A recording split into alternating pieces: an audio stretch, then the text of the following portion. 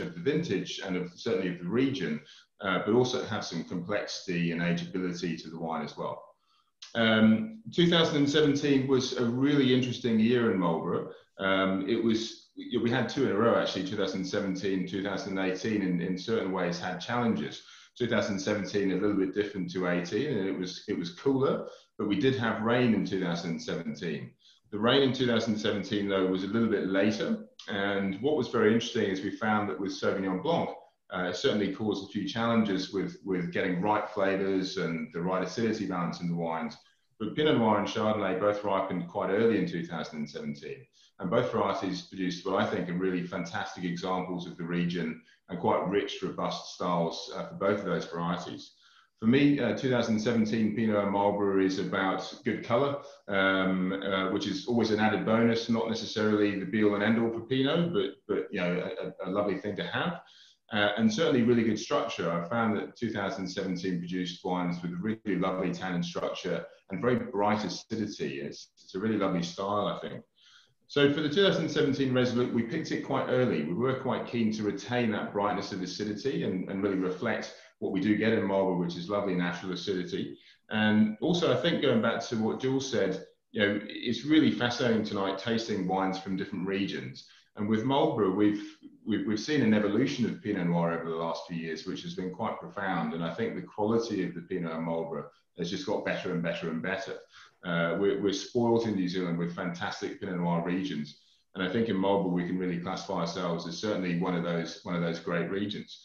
A lot of it has been, it, like, like with any Pinot Noir, all about site selection it's such a great variety. We all know we all know the variety. We love it, and we all know that it's possibly the best variety for reflecting its sense of place.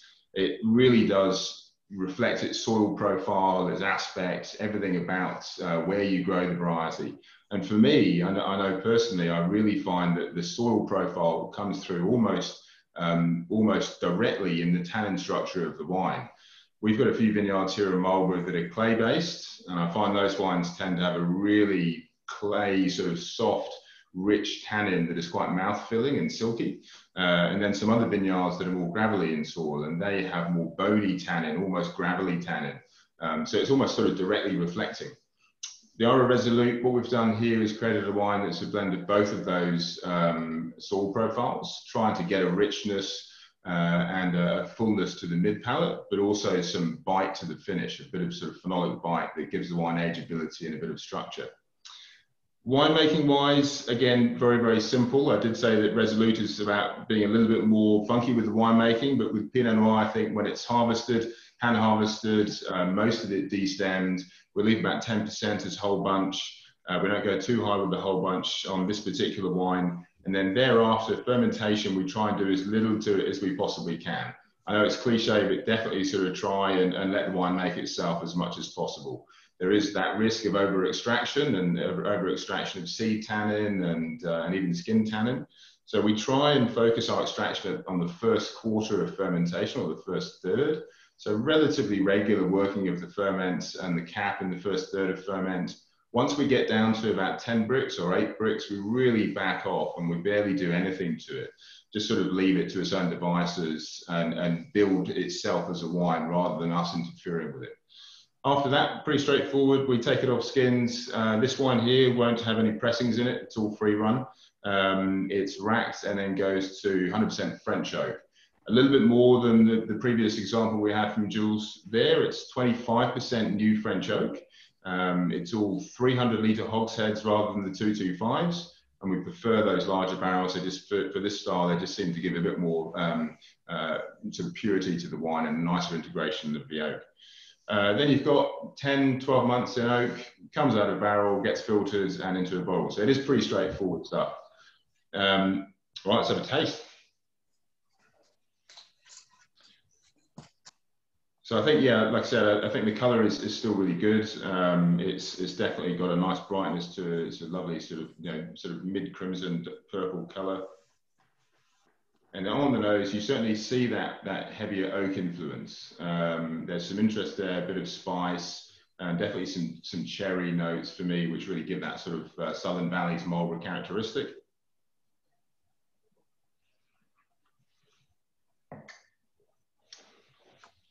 And the palate, to me, I think the word that for me sums up the palate is is real freshness. It's got a real brightness to it. That lower pH, you can really see that. It's quite mouth-watering.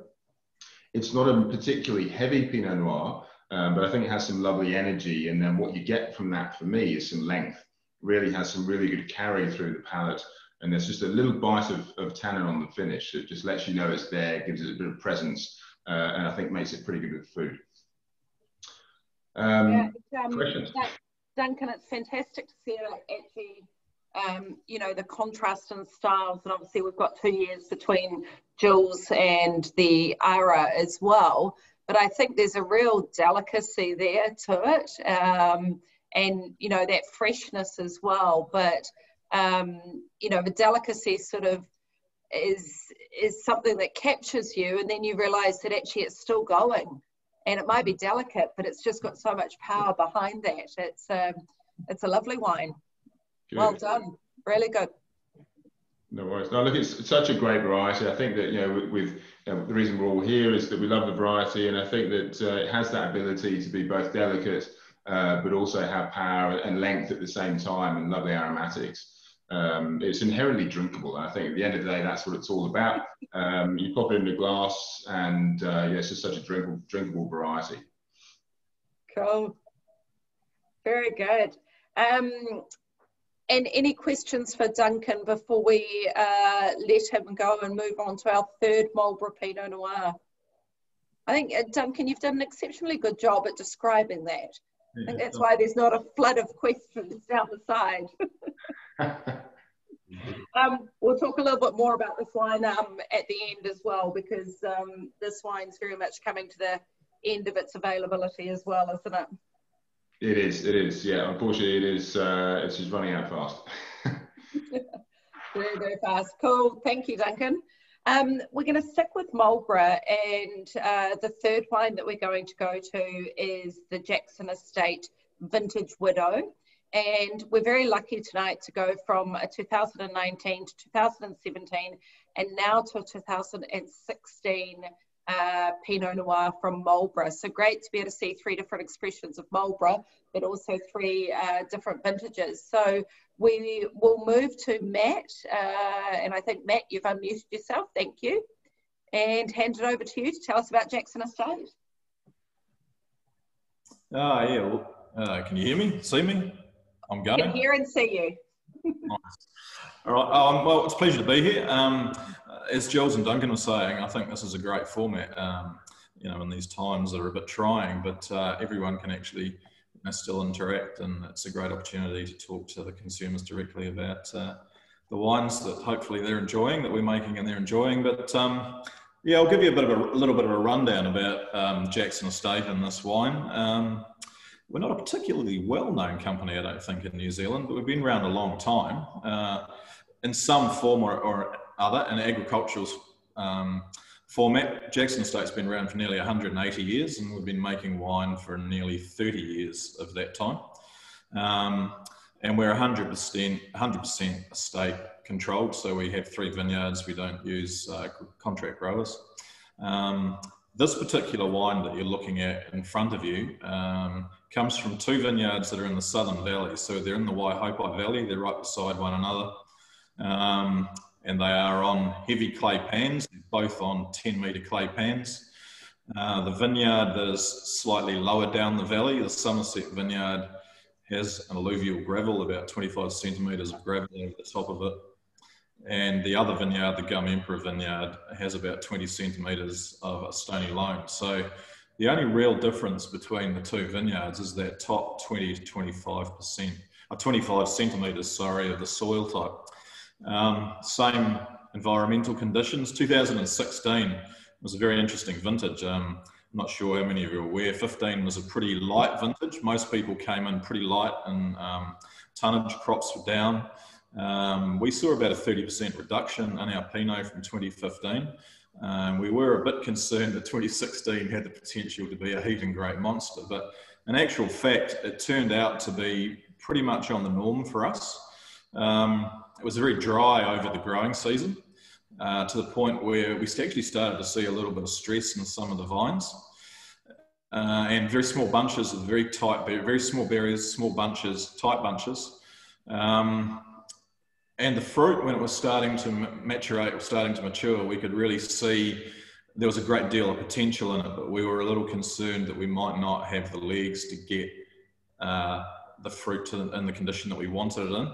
Uh, luckily, we had a little bit of rain um, towards the end of March that actually freshened up the vines and really allowed us to um, get the fruit across the line. So when we started harvesting, we literally went from the first day of picking to be almost 100% done in seven days.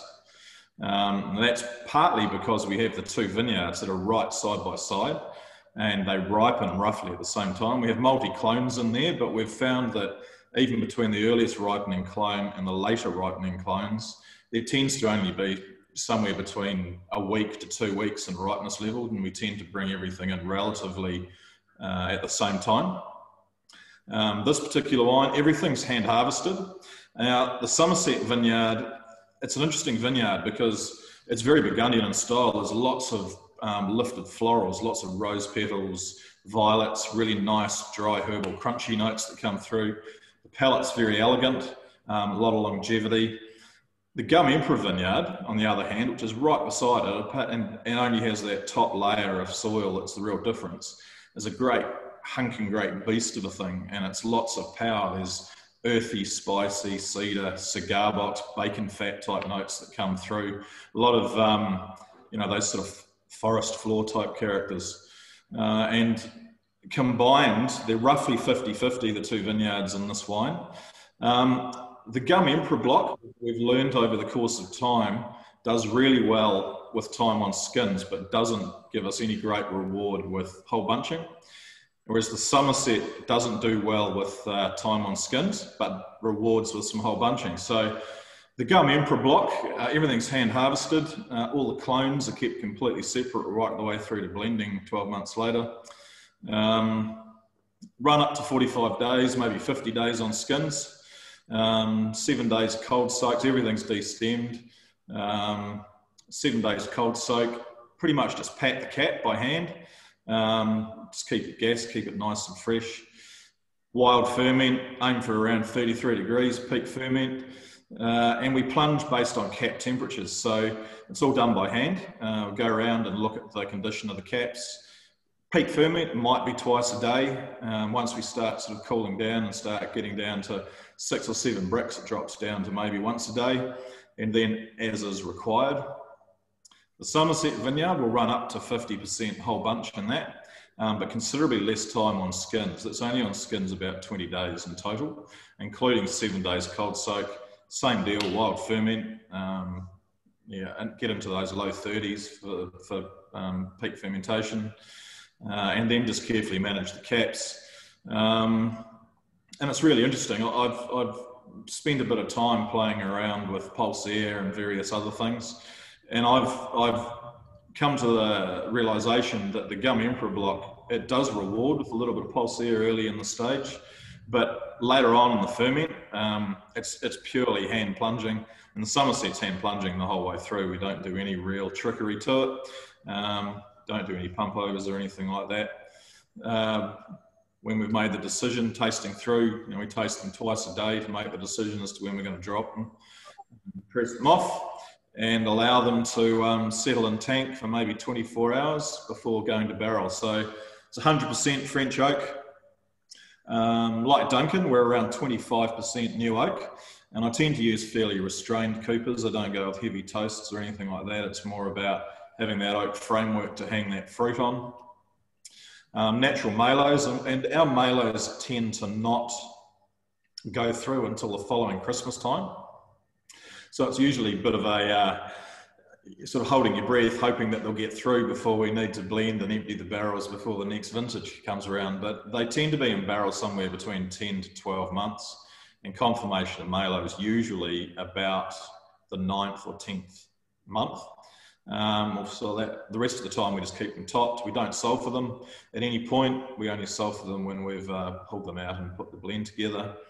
Um, and then we, we tend to just filter it, um, give it a light stability, tend to filter it, and then it's held in bottle for at least two years before we release it. So one of the things that we do with all the Jackson wines is they're all bottle aged before we release them. We're in a pretty enviable position to be able to hold vintages for a period of time and uh, climate controlled warehouses before we release it. So this is the 16. It's only been available for maybe eight months. Um, you'll probably know the stock levels better than me and deal with that side of the desk.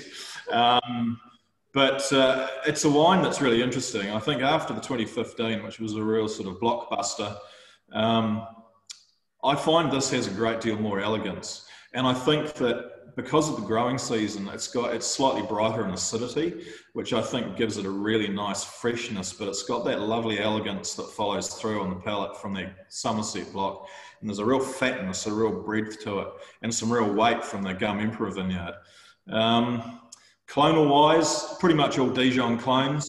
Uh, I had a look in my winemaking, the little black book of mysteries. Um, just before we uh, sat down this evening, and I think there's 28 different parcels of Pinot that have gone into this particular wine. Um, that's probably more the fact that I just like, you know, chuck a Pinot in into the blend, but um, you know, they all add something. Um, you know, it's a really interesting thing being, to be able to play around with that number of, of uh, clonal batches um, for your main blending wines. So, yeah, we'll have a quick taste of it and see what everyone thinks.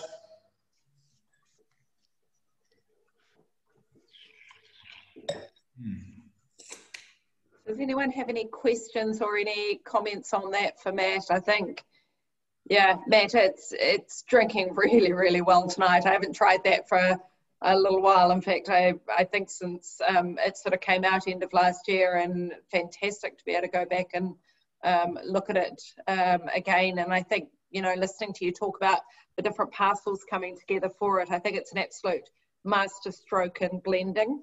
Um, I think, you know. Oh, I don't know about that. I think it's more I go along and taste it about 20 times and tick, tick, tick and tick it.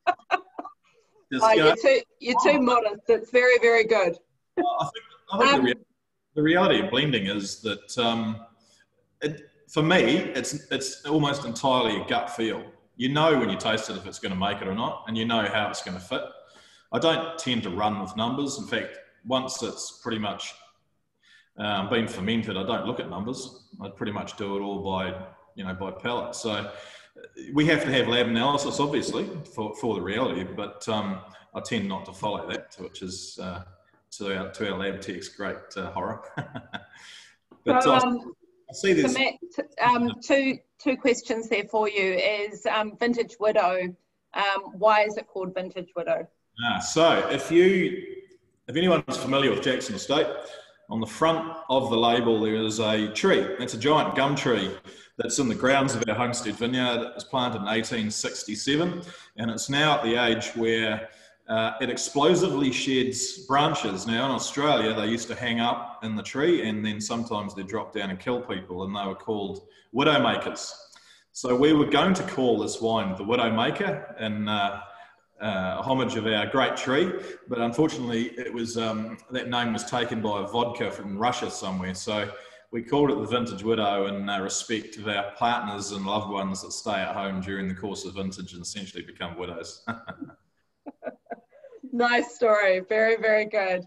And um, we've also just had some comments there is that um, this wine delivers incredible value for money, um, which it's, it most certainly does. Um, and also a comment that there's um, some people in the room who've got older vintages in their cellar. Um, right. And they're right, still yeah. drinking very well. So I'd comfortably say this would go another 10 or 15 years. Yeah, agreed. Yeah. Yeah, I've seen your wines age and um, I'd agree 100%. Hey, thanks very much, Matt. Um, and that's the last of our Marlborough wines tonight. And now we move to the first of our Central Otago wines, and then we are going to stay down in Otago for the rest of the tasting. And um, we start first of all with Rockburn with Malcolm and their 2018. So uh, this is glass number four, folks. Hi, everybody. You can all hear me? I assume you can. we can. Good.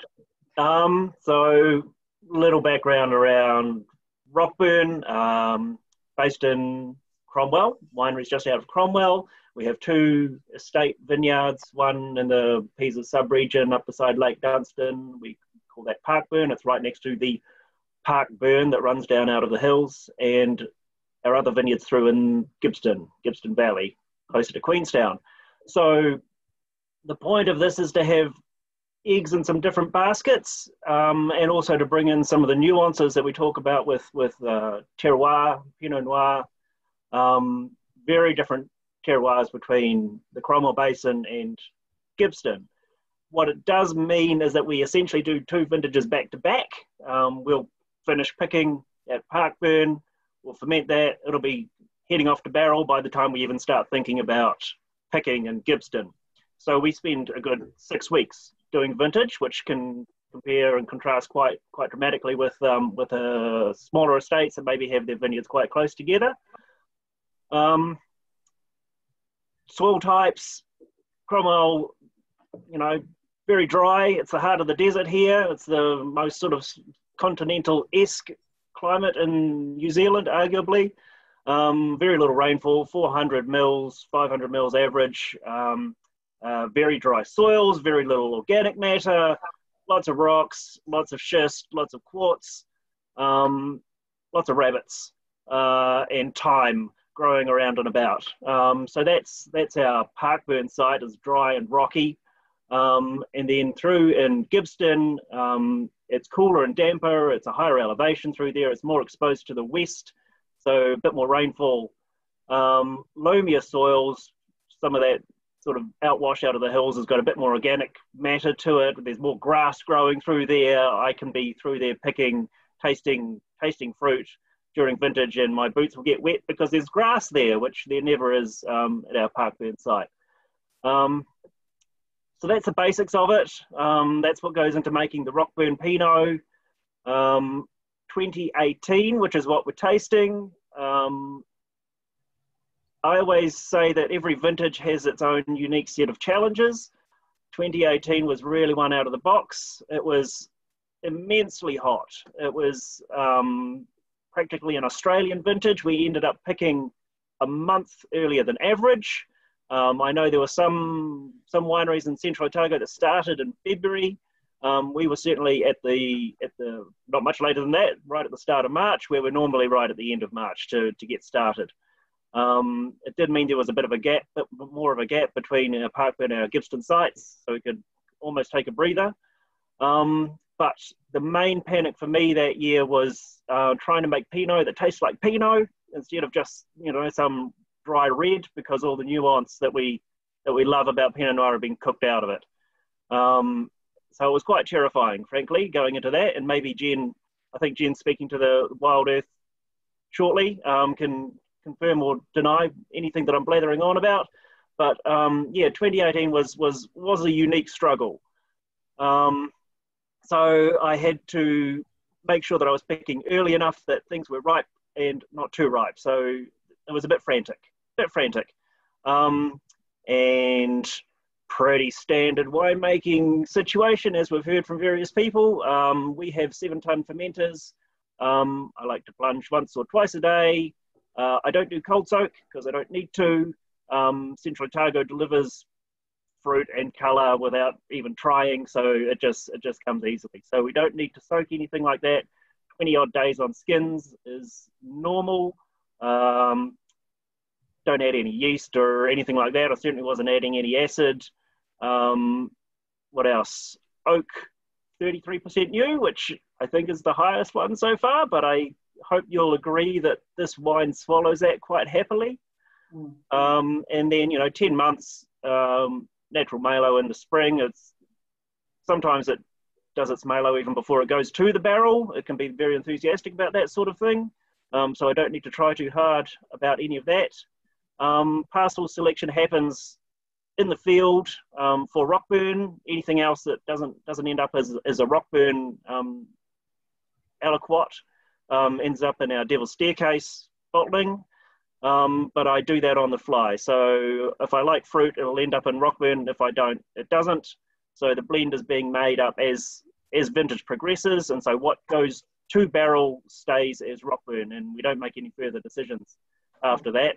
Um, I'm also not big on numbers. I like to taste the wine and decide if it's a good wine or the fruit really will tell me if it's going to be um, worthy or not. Um, what else? Um, oak, so it's all French. Oak, um, variety of coopers. I do like heavy toasts for some of those things, but most of them uh, tend to be medium or medium long. I'm quite fond of the long toasting on, on barrels these days. Um, and I said 33% new. And Malcolm, just a question for you. Yes. So you've got the different parcels that you bring together to put this wine together. We've Yes. had someone ask, do you keep them separate once you've picked them and Yes. ferment them separately, or Yes. what do you do in that part of the process? yeah, so so everything is is is fermented as a parcel, as a clone, um, in its own individual seven ton fermenter, and then kept single and separate all the way through um, until it gets chucked together and becomes the Rockburn blend out the other end. Um, you know that's pretty common across uh, most winemakers, and one thing that I really enjoy about that that um, separation all the way through is that it then allows me to to pick out the cream of the crop um, and make our barrel selection in a good year. Um, so we've got some of those coming out uh, very soon as well out of out of 2019. We didn't make any of any barrel selection out of 2018. Uh, it was not what I would have uh, called a stellar vintage. I was just happy to survive it. Um, and we are we are getting very near the end of the, the volume of, of this wine. I think it's due to due to sell through very very soon, hopefully. Um, but look, it's it's drinking really nicely. I'm actually far happier with with how it um, how it turned out than than you know making the thing. I was I was very very worried about it. I think you've got nothing to be worried about um, by the comments that we're seeing come through, but we have a few more questions for you. Uh, and I'll give you both of them at the same time. The questions are uh, the percentage of whole bunch and what will be the percentage Parkburn versus Gibbston in the blend, please? Yep. So Gibbston, I do like to keep the Gibbston proportion as a proportion of land area um, planted for Pinot. Just that keeps it quite easy. Um, and then I just tweak it back and forth a little bit depending on, on what I do like um, from each site. But uh, 2018 was about 12% came from Gibbston, rest being Parkburn. Um, and what was the other question? Whole bunch. Whole bunch. Whole bunch. Um, yeah, being a being a warm and a ripe year, I like to throw a bit more whole bunch in. So um, average would be about 20% whole bunch um, across most, if not all, of the ferments that, that went into the the, the Rockburn. Okay, and um, a few more technical questions for you. Uh, the whole bunch, um, as much whole bunch from Parkburn as Gibbston. And my other question would be uh, the decision to use whole bunch, climate, or how the bunches look. How how the bunches look depends on the climate. So let's you know, you know That is true. yeah, it's that's all good. And then yeah, it's I tend not to use much whole bunch out of Gibbston. There are people who who do and do really well out of that um, and look Mm. great. But from our site, just the nuances of it just mean we. I mean, we get a lot of herbal herbal notes from Gibbston anyway, and it can be too easy to tip that right over the edge into a into a very leafy cabbage soup situation if you if you overdo anything like whole bunches. So I just steer clear, well clear of that um, from Gibbston, and rely on the whole bunch component from from Parkburn to to do that business. Okay, excellent. Very, very good. And I think we had a very, very nice comment um, from Jen on, um, I was just trying to get back up to it on my feed there. I've got so many comments, but Jen did say that it was nicely balanced with good tension that suggests it will age very well. What do you think on the aging of this, knowing your wines very well, Malcolm? Thank you, Jen. I really appreciate that. Um, like I say, it was a warm vintage, and I n- don't normally regard warm vintages as supremely ageable. Um, and saying that, um, things like 2002 out of out of uh, Central Otago have been drinking really nicely relatively recently. Um, and Rudi made Rockburn back then, and, and I sh- shared a, a bottle of 2002 with him uh, few years ago now, but it was ridiculously good.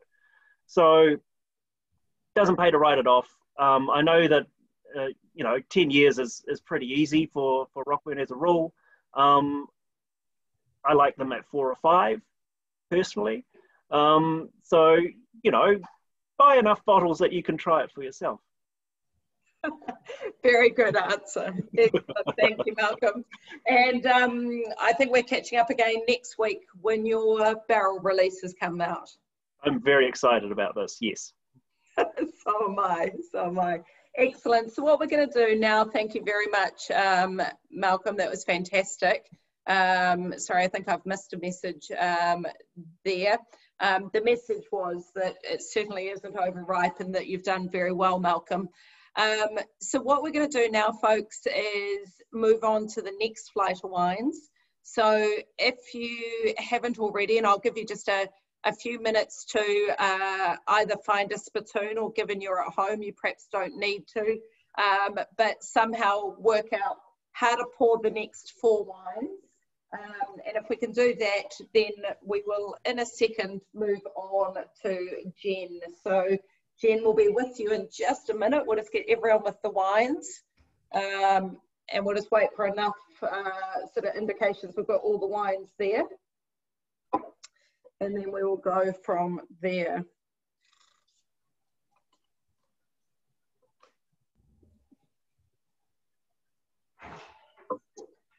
So have we got people almost with the wines? How's everyone going?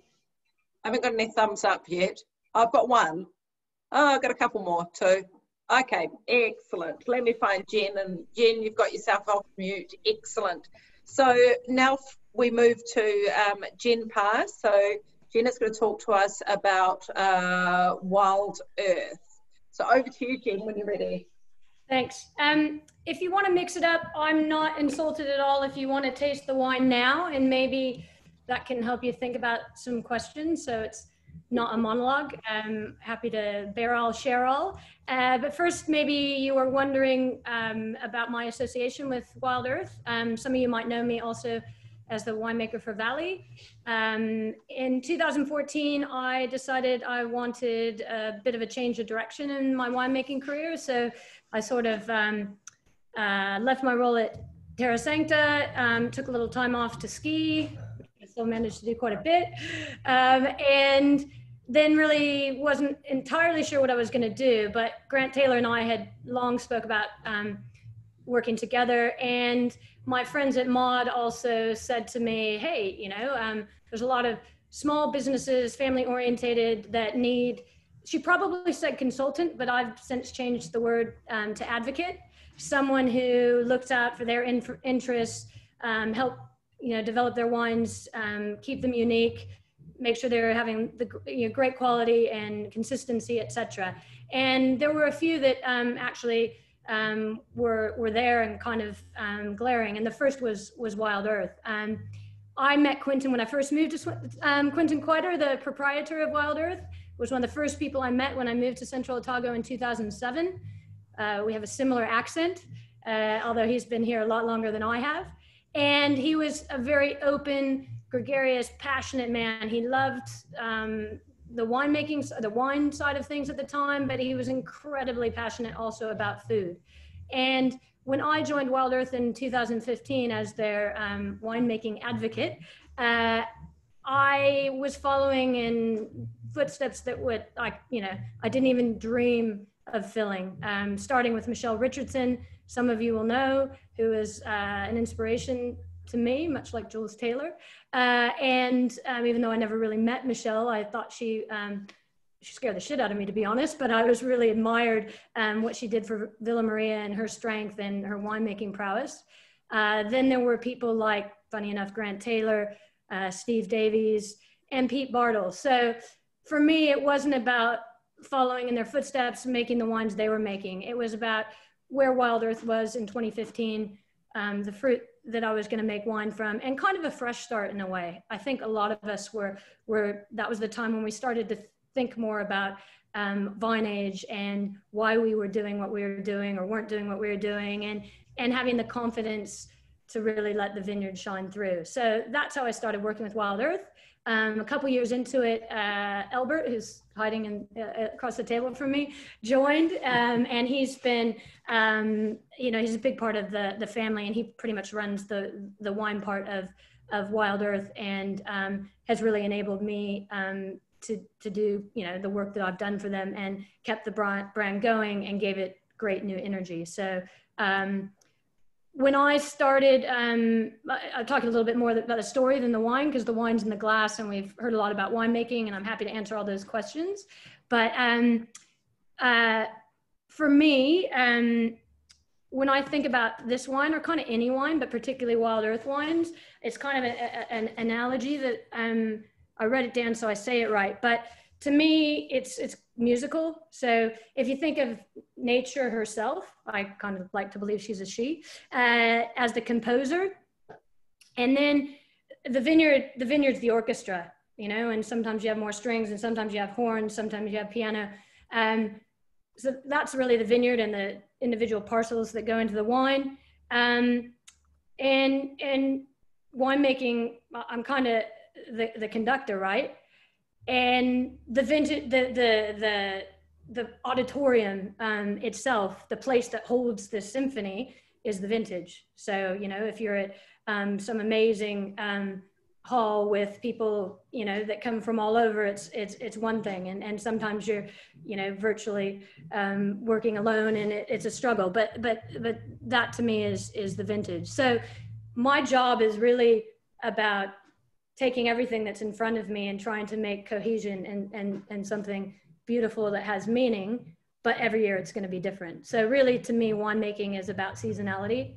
And this wine comes from um, the block that Quentin planted in at the end of Felton Road, um, quite close to um, where Austin's grapes come from, which will be the final wine that we, we taste. Um, a lot of influence from the river, um, uh, soils that were formed, um, you know, both by, by, the, by the rivers and also by glacial movements. Uh, planted, some of the plantings go back as far as 1999.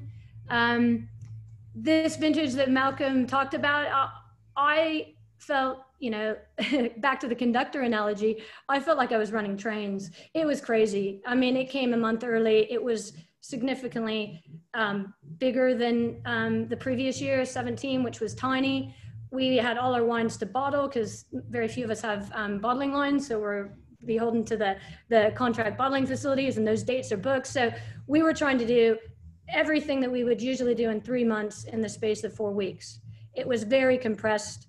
Um, the this vineyard, because I, I, had the luxury of working with lots of different parcels across um, quite an interesting um, little valley, we would have picked it over four weeks. Um, this year it was probably three weeks, but basically I didn't really feel like I had time to think. Um, I felt like everything came in, it was clean. Um, the winemaking, there, there was just no choice. It, it just was. Um, versus the subsequent vintages 19 and 20, which were a little bit smaller. You, you had almost too much time to think, you know, to second guess yourself and think, oh, this little choice is going to make such a difference. Whereas in 18, in some ways, I think the beauty and the harmony and the flow of the wines comes from the fact that we just literally didn't have time to second guess ourselves. And, and nature was quite benevolent in, in that she just delivered, you know, with a roar, but she delivered something that was really easy to work with. And um, that to me kind of sums up 2018. So I don't know if any, uh, you know, this wine, um, there's nothing um, particularly interesting about the winemaking. I do approach every wine that I make with the intention to use um, whole clusters if I can, but that is based on season, style, the fruit that I'm actually working with. Um, and when, when they can be included, I like to. Um, and in this wine, there were probably seven or eight ferments that were largely clonal based coming from different parts of the vineyard. So some of them might have had 10% or none. Um, some like Clone 5, um, I might have used 50% because I quite like Whole Bunch with Clone 5, but the, none, none of that's predetermined. It's all about what I taste and what I see. And for me, it's about bunch size, vine health, seasonality, and just, you know, looking at what all the instruments are going to do together. And if you don't want the whole bunch to be like a tuba, where it blasts out over you know the the oboe or the clarinet. You want it to be something that is in the background of the wine, adding to the to the texture and to the mouthfeel and maybe to the fragrance of the wine. So um, yeah, I guess that's sort of what I wanted to say. But I'd love to answer questions. Um, so we've had one question, um, well, a couple of questions here, but one that's come through asking if you were going to describe the wine, um, Jen, how would you how would you describe how you're tasting that tonight? I mean, I think it's it's brilliant. It's looking really, really good. Um, but some descriptors for it were what we were asked for. Um, to me, it's it, it's what makes me smile about this wine is like Malcolm was saying, it was a hot vintage, but I don't get heat. I don't get stress. Uh, I get a real silky sensuality to the wine. Um, there's a real beautiful mouthfeel. There, it's not um, super primary. There's there's lovely lo- fruit, but it's not lush for a hot vintage. Uh, it's certainly ripe. To me, uh, I often think of um, the Bannockburn subregion, um, which is the place I've spent the most time in, um, as I always conjure up an image of James Bond, particularly Sean Connery, because it's everyone's heard of Bannockburn. Bannockburn never lets you down. It always is sensual. It always is safe in that you know when you buy something from Bannockburn, you're going to get something you're going to enjoy. Um, and and that how you define enjoyment is individual, but you're never going to go, I wish I hadn't bought this or this didn't deliver what I wanted to. It's a really entertaining subregion. I think it's one where um, it just pulls tricks out out of its hat. But you know, if you're drinking a Bannockburn wine and you're like in the Italian job and the bus is hanging off the edge of the cliff. Sorry, that's my favorite movie. But you know the bus is not going to go off the cliff. You know, James Bond is going to save the day. And to me, that sexy sensuality, that this for me is the true essence of what I like about Bannockburn. And we all have people that we learn from. And given the proximity to Felton Road, one of the things that I've always loved about their wine, and it made me realize that it doesn't have to be just true to them, is that silky, sensual texture. And when I think of Felton Road, the first things that comes to mind is it's about the texture and it's about that silkiness. And in my journey, um, working with the fruit that I'm working with, which isn't necessarily, you know, that exact block, I know that it can be done in that subregion. And that's always sort of um, what I'm trying to achieve any, any vintage in and out. Excellent, thank you. And we've had some lovely comments, um, Jen, about your analogies, and we've got some musicians in the room who have absolutely thoroughly enjoyed those. So thank you very much. Um, and the wine's looking excellent. Thank you. Thank you. Thank you. Very cool. And um, we're going for second Central Otago now, and um, we're going to have, we're now moving back in vintage, and we're going to move next um, to Dominique Mondillo. So, Dom, I think we'll just unmute you there, and I think we've got you ready to go. And this is now your second glass um, in this second flight.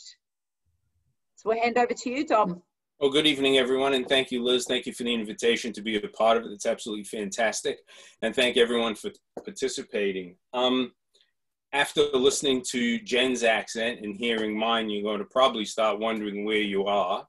Um, but I have been in Central Otago since 1981, and I've been growing grapes since 92. So, um, irrespective of how I sound, I have been here for quite some time. So, the background, um, a little bit of the background of the Mondillo brand. I originally trained as a chef. I had a couple of restaurants here in Central Otago. I was the chef owner through the 80s and early 90s. And consequently, I make the wines very much in that style to accompany food. You know, for me, it's all about um, that food and wine matching. It's um, sort of growing up in an Italian household, that's exactly the way we sort of treated wine. And um, it was always sort of a, a part of our upbringing. Um, we purchased a piece of land at Bendigo in central Otago in 2000, planted the first Pinot planting was 2001. Um, so all we have planted is Pinot and Riesling. So just a couple of varieties and try to stay focused. We have 10 hectares of Pinot planted. Um, and again, sort of that clonal selection is probably not very different than everyone else's. We've got 114, 115, 667, 777, Abel, and Clone 5. So this wine is a combination of all of those clones. Um, the vineyard is, it starts off at 220 meters and goes up to 305. So very variable soils within that sort of profile. Um, it's made up of three terraces, so each terrace actually brings something to the wine, and and certainly adds some variety to to the clones themselves. Um, the 2016 vintage again was probably a little bit 2016 a little bit warmer than 15 and 17 on either side of it but then again much cooler than the 2018 the two previous wines that we had tasted um, everything is hand harvested, hand plunged, 100% destemmed. I've always been a fan of keeping the stems out of the ferment. Um, after you know multiple discussions with other winemakers in Central Otago, but um, for me, I think it, it, it makes a wine that I I enjoy. Um, and the thing is that you know adding those stems adds a, a variation to the wine, and, and I think for me, it's all about sort of that sense of place and purity of the fruit um, is another reason why I tend not to do that. So this wine has 25% um, new oak, 100% um, French. It's been in the barrel for about 10 and a half months. And, and again, you know, just sort of getting back to that whole sort of premise, I truly believe that um, wine is made in the vineyard. So, you know, we, we attempt to get the grapes as close to perfect as we can outside and then keep our hands off them inside. And hopefully that, that comes through in, in this wine. Um, and again, you know, sort of given that, that soil type that it's in, uh, very high content of stone. And as someone mentioned earlier, you know, I think you actually see that in the wine as well. You know, that minerality flows through in, into the wine. And the other thing about Bendigo, of course, is being that little bit warmer than some of the other subregions in Central Otago, is that you know we're able to get those tannins ripe, and consequently, I think you get nice texture and nice structure into the wine as well. Um, so, okay. sorry, sorry. a couple of comments here, um, Dom. The the first one is that we've got a New Yorker in the room who loves hearing your accent. It's a breath of fresh air. Um, so uh, John's feeling very much at home. Um, but we've got a question on how long would you put this in the cellar for? Um, you know, I think it's, you know, Malcolm made reference to this earlier, and I think it's a very good point. It always pays to buy multiple bottles, taste one, and then you decide how long it should be there. Um, again, this is a 2016, but for me, I think there's still plenty of life in it. You know, it's certainly going to last for certainly another five to seven years um, with ease. We've found more people from New York while you've been talking. Fantastic. Lovely. Um, has everyone tasted the wine?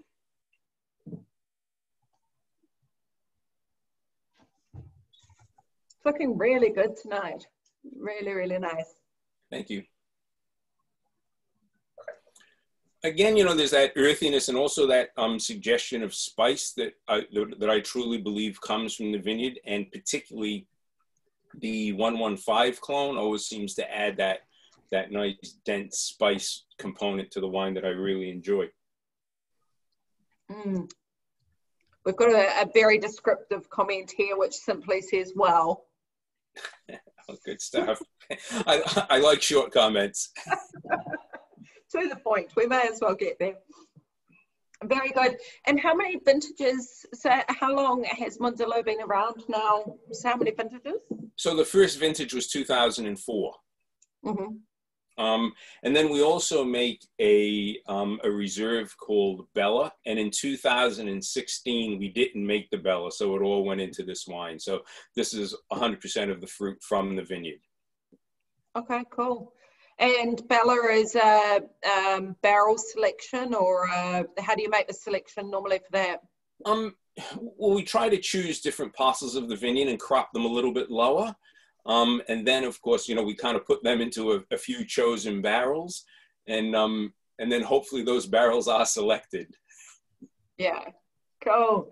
Very good. Someone's commented, um, I think, great comment just on how long the finish is, um, which, yeah, it's it's very, very cool. Wonderful. Excellent. Okay.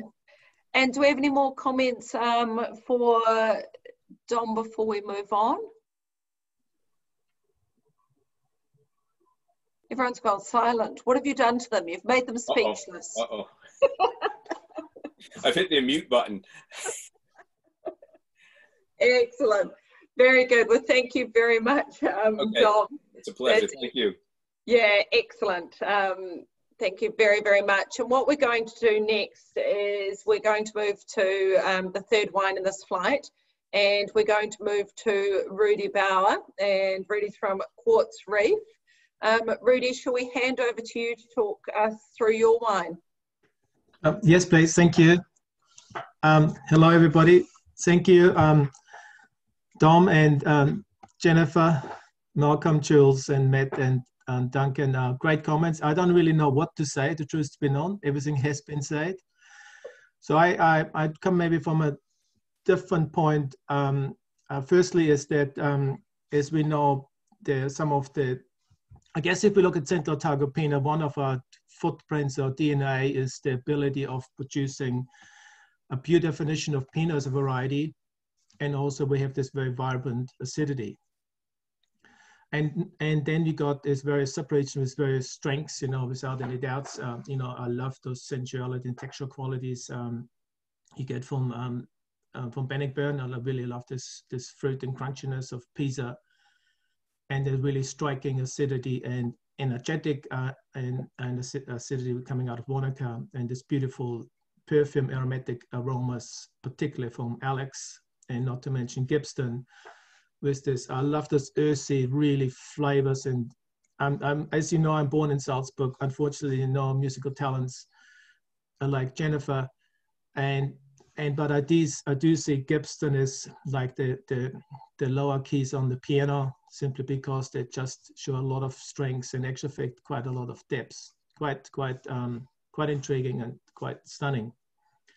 The good news is for Bannockburn is this because with the Bannockburn um, and the, and what helps James Bond is in actual fact um, he was trained in Bendigo, and so hence he got the structure and the strengths to make sure that the bus doesn't go over the cliff. But that's very important for you guys to understand. You know, he was actually trained in Bendigo. So just just that you know, um, that's quite important. Another very interesting part is for us, we as winemakers and everybody, please please come on board. Um, you guys, if you've got any comments to make, is our extraordinary journey without with within our region, but also together within New Zealand, the way we have grown together and find actually fact the best definition and best expression of Pinot we believe. And that is extraordinary because we do believe we're strongly connected to the land. Ideally, with what we want to do is that you can taste the land in your glass. So if it's if it's from Central Otago, if it's from Martinborough, or from Nelson, it, or uh, or from Waipara, it doesn't really matter so long if you get the sense the sense of place. And that's getting even more important now, and and and where I'm leaning now to look after your land in regards that we have a responsibility to make sure that we we are kind to the land in form of your practices but also more important is we in many cases are the first generation to looking after young vineyards or establishing young vineyards and of course they age um, obviously we are not aging. That's that's a certainty. Is that okay jennifer? I'm doing well. Thank you. Um, so that that also means is the next part is to pass it on in great shape to the next generation. And I guess, Liz, you already will understand. You have seen so many the growing up of New Zealand Pinot, the enormous evolution we have gone through, and finding our own, really finding our own feet as a region and I guess producer and also expression of of what we believe is Pinot what I really love on Pinot is Pinot really wants only one thing to do is to reflect where it comes from. And then I only got a couple of analogies about Pinot is that I love Pinot is for me a variety which allows you to philosophize because it allows you to think and allows you to sort out the meaning of life. And the reason is Pinot allows you because it is, is if you have a Pinot, is as you have a Pinot in your class, is consistency consistently it expresses its its layers of aromatics and palate. If you got a Cabernet, it's not the case because a Cabernet basically has an enormous impact on on your senses, where in actual fact you you can be part of it, but you have to be equally strong as strong as well. But you cannot use emotions where they're deeply deeply set in with you, where you feel comfortable. To talk about um, how we struggle and how we and how we um, how we um, braise Pinot. Pinot is actually fact a variety is he which really wants you to embrace and go forward with it, wants to walk together with you. And that is also very, very beautiful. And this is what we do in Central. We are willing to walk together because Pinot allows us to express ourselves because Pinot is actually not in competition with any other. And for me, the most beautiful thing about Pinot is that the flavor profile or the quality profile of any Pinot in the world is extremely wide. I mean, wide. You know, you can go from old, from light colored to dark colored, from any source of flavors. And it always excites you because it, it wants to be a personality and a character. That, that's why I love, that's why I love Pinot. And I guess uh, from, um, from Quartz Reef, um, uh, Bendigo, um, being lucky enough and have the privilege to be one of the, or be the first one to plant vines there, and basically not knowing if this is the right thing or the wrong thing, I can assure you, and I can assure that goes for, for Dominic and Jennifer, and so it's for everybody else, that if you if you make a, a statement informed that you put your feet in the ground, you can't go any. You are where you are, and I felt that this particular site is, you know, potentially a good site. I know now, after many years later, um, planted in 98, that is a very good site, but it's also extremely difficult to understand. And I guess that makes sense. I mean, what we expect after 30 years, you know? And then we always go, obviously, we go to Burgundy, we love Burgundy, and at the same time we know now we are very much in with New Zealand Pinot on the on the world stage with the same levels of quality, but it's our personality, and uh, as a personality, I mean the land and the people involved, and I think this is something. Yeah, it's something beautiful. Pinot allows you to be reflecting and enjoy what where you have been and what you do right now um, you get those flavors. You know, I don't really want to talk about the wine. What's the point? You know, it's it's it, it delivers what it can do. And 17, coming back to 17, 17, I believe it's a vintage, is extremely nice class. I, I call 17 as classic vintage for Central. It will be a classic vintage when time to come because it shows many characters which are part of Central again coming back.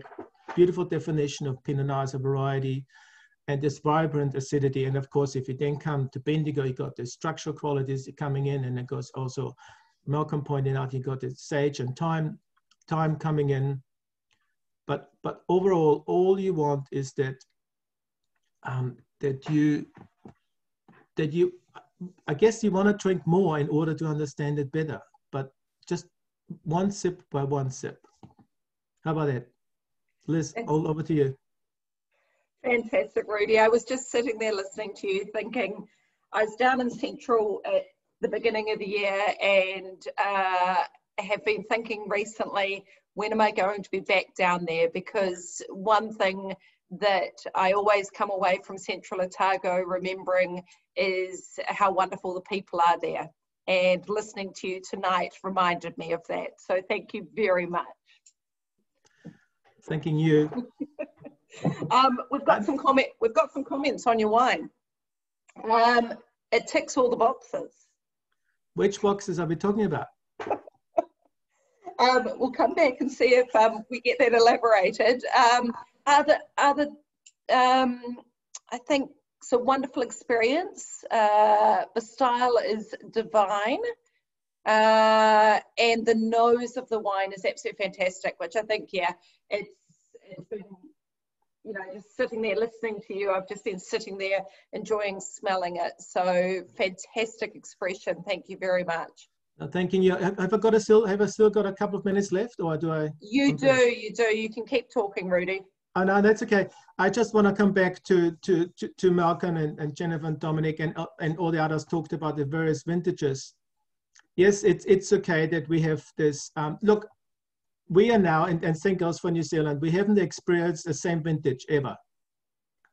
Every year there's a vintage, we're just blown away by it, by it particularly, um, you know, let's say, let's say, um, you know, I guess 2004 and 2005, there were really unusual years of quite cool um, low yields.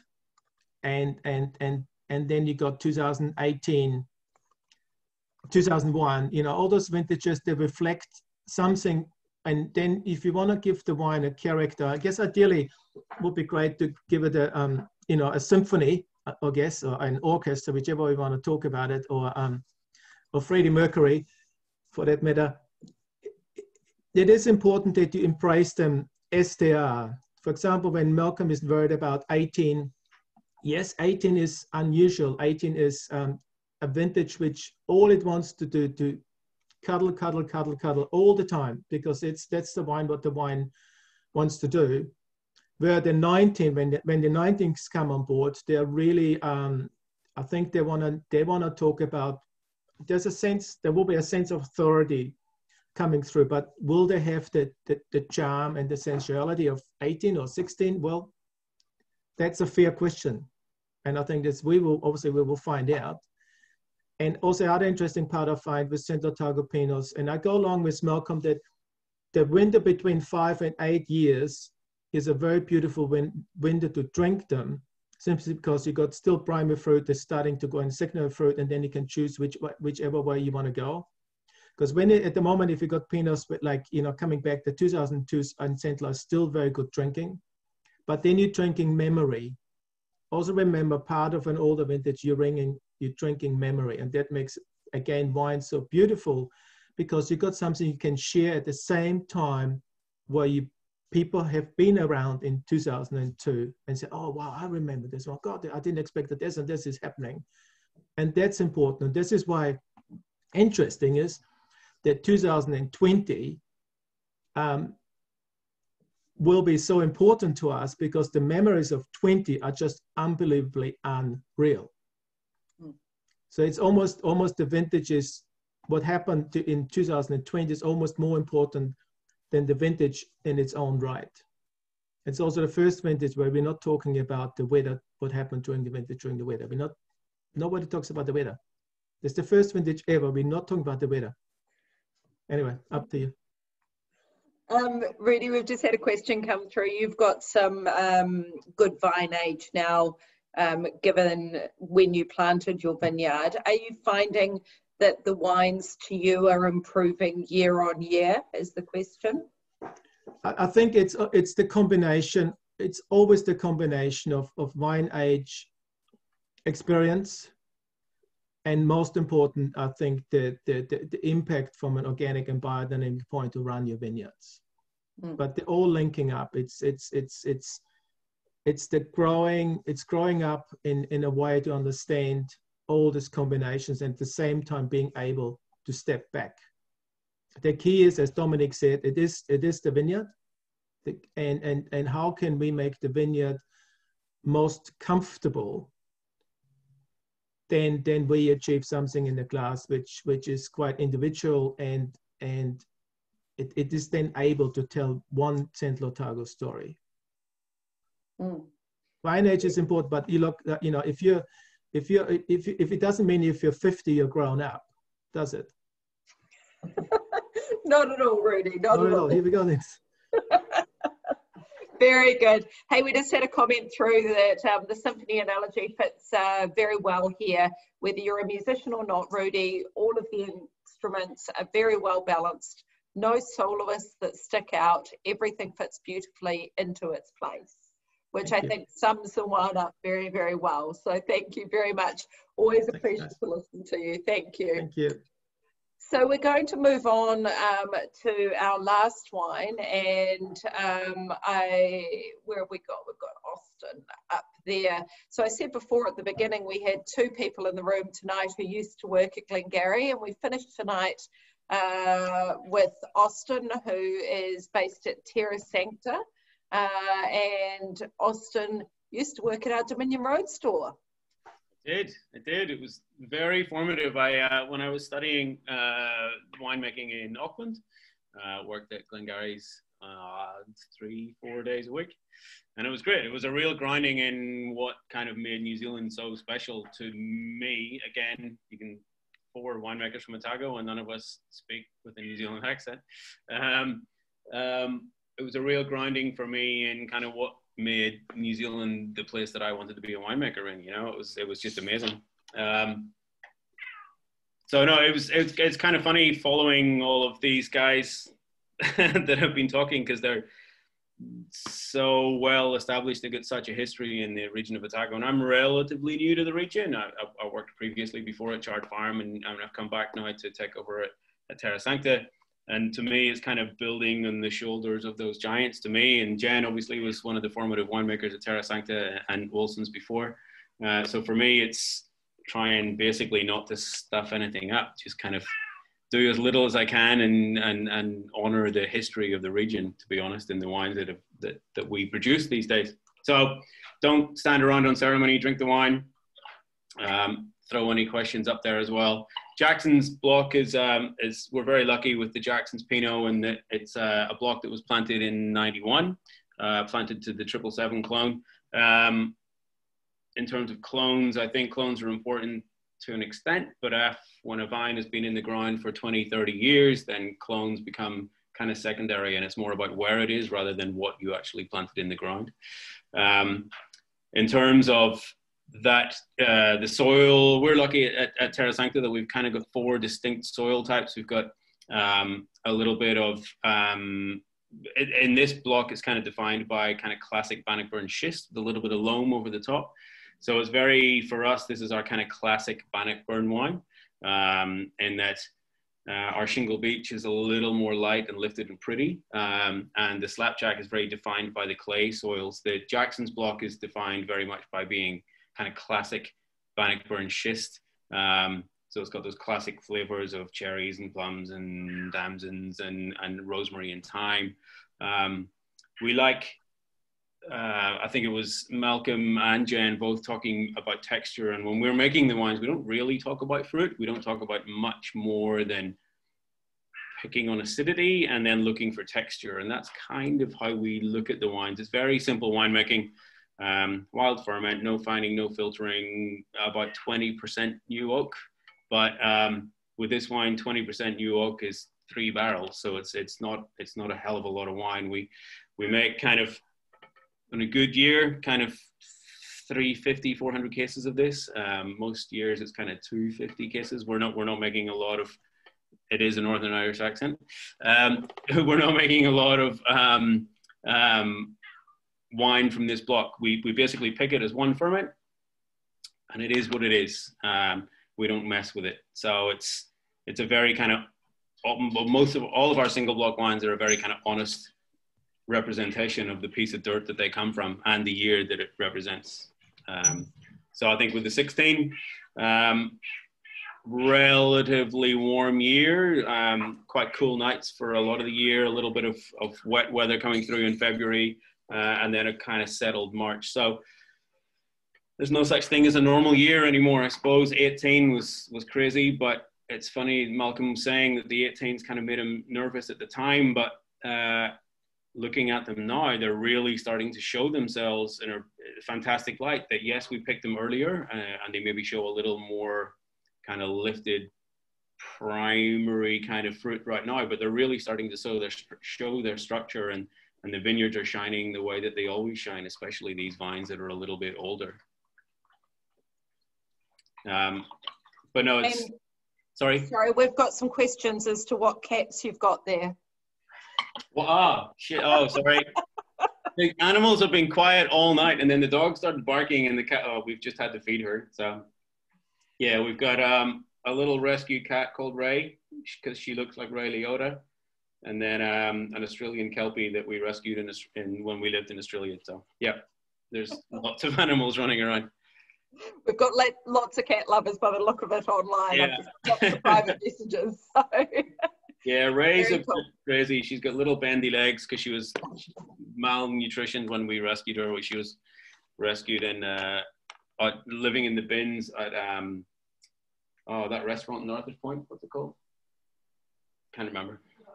um, we've also got a great comment here, which I think sums it up. Um, Austin is that you've done really well and you haven't messed with it. It's beautiful. Um, with Pinot in general, it's uh, uh, as Rudi said, it, it, kind of reflects site more than anything else. Um, so with Pinot, I think it's, I find my favorite Pinots I can't describe. I find them hard to pick apart. Um, I think if wines that I kind of find it easy to write tasting notes or, or describe are wines that I, things are sticking out. But with Pinot, it should be seamless. So you, if you can start, if, if you can't pick it apart, to me, that usually means it's a, it's it's a really good example of the of, of Pinot. It's a uh, Pinot is not a big wine. It should kind of reflect lightness and that kind of ethereal kind of texture, acidity, all of those perfume, all of that kind of stuff. But I find good examples of Pinot really hard to describe. Mm. Well, yeah, I think we've seen a lot of really good examples of Pinot tonight, and that certainly yeah. um, is one. Have, have we got um, some more questions for Austin there? You've also made everyone speechless. Either drunk or ready for bed. It's a school night. Yeah, you ha you have got sort of um, uh, I don't know whether it's the good end or what it is being the last person to talk tonight. But, oh, uh, definitely uh, the good end. I'm certainly a little bit rosy cheeked, so it's definitely the good end being last. Perfect, perfect, excellent. Thank you very much, Austin. Um, so, um, just wanted to finish tonight, guys, with a couple of um, sort of comments and um, uh, some more information for you. The first thing is just to thank very much the winemakers that we've had online tonight. You know, when we came up with this idea that it'd be quite fun to have uh, eight winemakers join us online and then put the call out. Um, we we had a sort of wish list on who we wanted here tonight, and you all said yes. So thank you.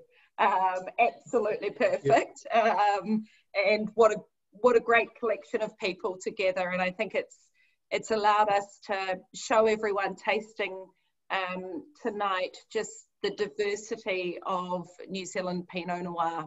And, you know, we've seen some older expressions. We've also seen different parts of New Zealand. And um, to actually be able to hear from um, the winemakers themselves has been quite a unique experience.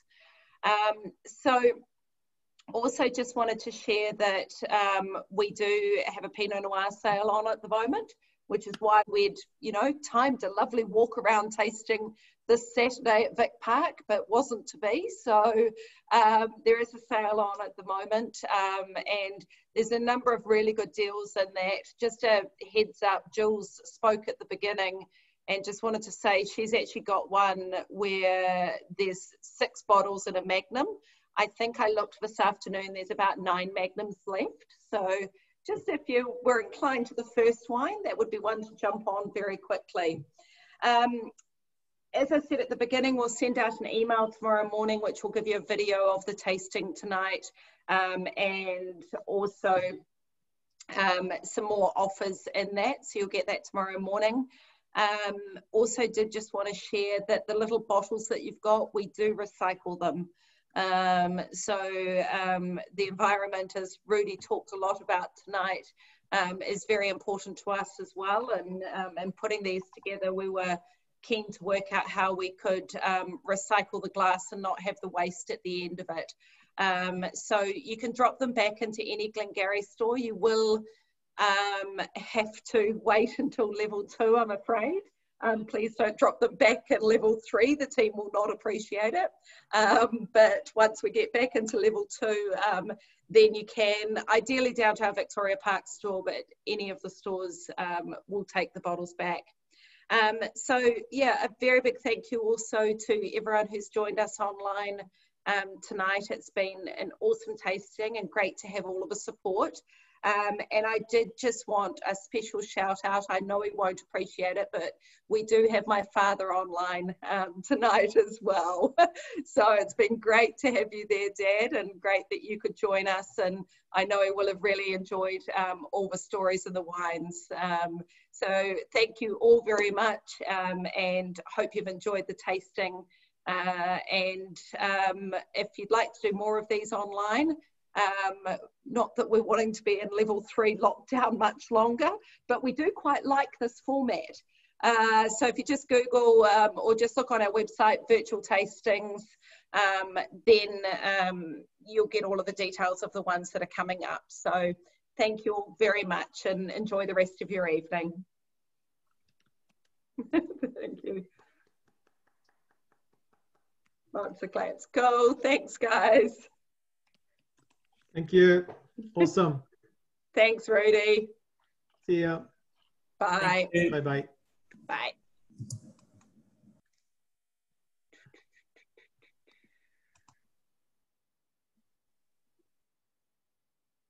Many thanks, Liz. Greatly appreciated. Cool. Okay, take care. Very good. Thanks, night. Tom. Excellent. Thank you, Elizabeth. Thanks, Ted. Cool. Thanks, guys. Bye. Bye. Thank you. Cool. Thank you very much. Thanks for joining us. Thank you for the comments.